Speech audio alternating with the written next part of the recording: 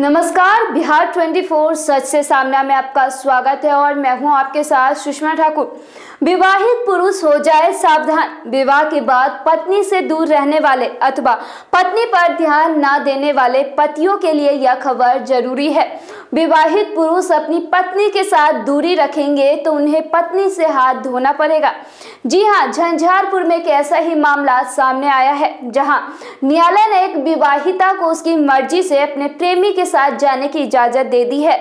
शादी के बाद वह पति की बेरुखी से परेशान महिला एक नए युवक के प्रेम में फंसकर भाग गई थी। पुलिस ने बरामद कर न्यायालय में प्रस्तुत किया। कोर्ट ने विवाहिता को पति के बंधन से मुक्त कर प्रेमी को पति के रूप में मानते हुए उसके घर जाने का आदेश दे दिया है। यह मामला चर्चा में है। आइए आपको बताते हैं कि क्या है पूरी मामला। झंझारपुर थाना क्षेत्र के चनोरागंज गाँव में एक विवाहित अपहृत की गई। विवाहिता को पुलिस ने 24 घंटे के अंदर बरामद किया।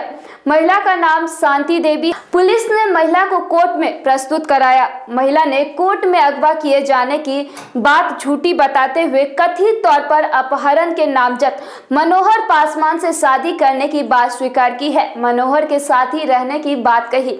कोर्ट ने मनोहर के साथ रहने की ही इजाज़त दे दी। वहीं थाना प्रभारी चंद्रमणि ने कहा कि कोर्ट के आदेश पर महिला को मनोहर के परिवार वाले के हवाले कर दिया गया है। थाना अध्यक्ष ने कहा कि पुलिस के दबिश पर दोनों को अररिया संग्राम ओपी क्षेत्र के परसा धाम सूर्य मंदिर से बरामद किया गया है। महिला की शादी इंद्रदेव पासवान से तीन वर्ष पूर्व हुई थी। इंद्रदेव बाहर मजदूरी किया करता है।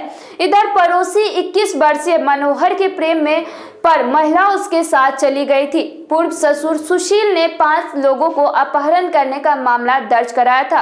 अब महिला नए प्रेमी सह पति के घर कोर्ट के आदेश के बाद रहने लग गई है। ऐसी ही जानकारी के लिए आप देखते रहिए बिहार 24 सच से सामना।